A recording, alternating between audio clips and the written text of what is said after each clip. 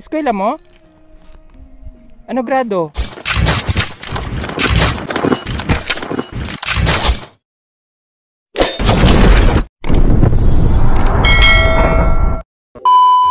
Isang mapagpalang araw po sa ating lahat, eto na naman ang inyong ka-cute Janstot vlog.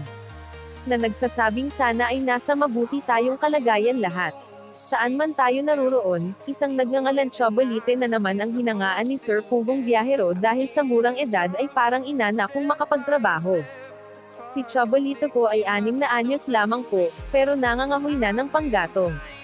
Imbis na sa gunang edad ay nasa bahay o kaya naglalaro pa lang.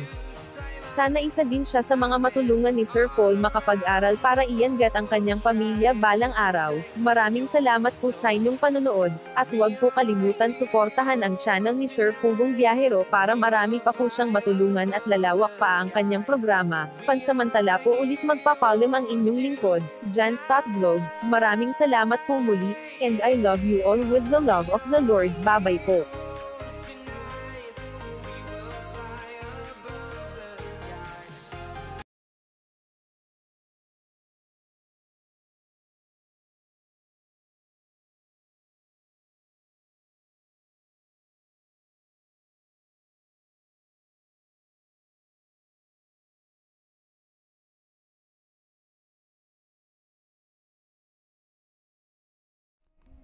Ano grado? Grade 1. Ah, grade 1 na daw siya.